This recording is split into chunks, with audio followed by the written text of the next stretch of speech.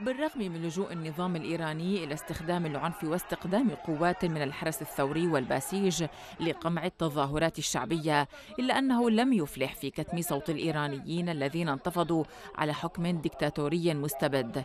في يومها العاشر تتواصل التظاهرات الرافضة للنظام الحاكم في عدد من المدن والمحافظات في أنحاء إيران مستخدمة تكتيكات جديدة بعد تصعيد قوات الأمن لإجراءاتها. الأمر الذي أدى لسقوط قتلى في صفوف صفوف المتظاهرين. حيث استخدم المحتجون أساليب جديدة ساعدتهم على تنفيذها تقنيات التواصل الاجتماعي والتطبيقات الجديدة. عبر الهواتف النقالة التي لم تكن موجودة في الانتفاضة الخضراء عام 2009 كما تمكنوا من تغيير ساعات التجمعات وأماكن الانطلاق وتحديد حركة المسيرات لضمان استمرار التظاهرات ومنعا لسقوط الضحايا.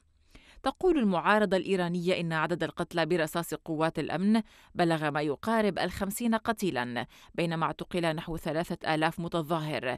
لكن النظام اعترف رسميا بمقتل 22 متظاهرا إلى اليوم.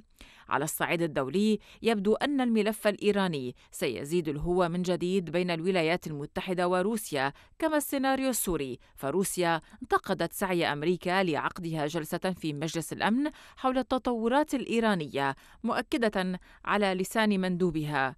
أن الاجتماع الذي عقد لا يقع ضمن صلاحيات مجلس الأمن الدولي.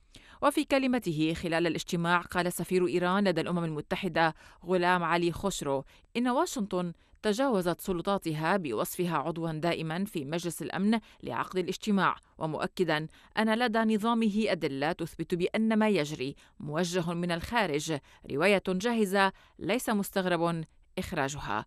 إلى وقت قريب. اعتقد النظام الإيراني أنه بمعزل عن حركات التغيير وبأن استغلاله لأزمات المنطقة. سيمنع وصول لهيب الثورة إلى إيران متناسيا أن براكين التغيير قادمة لا محالة.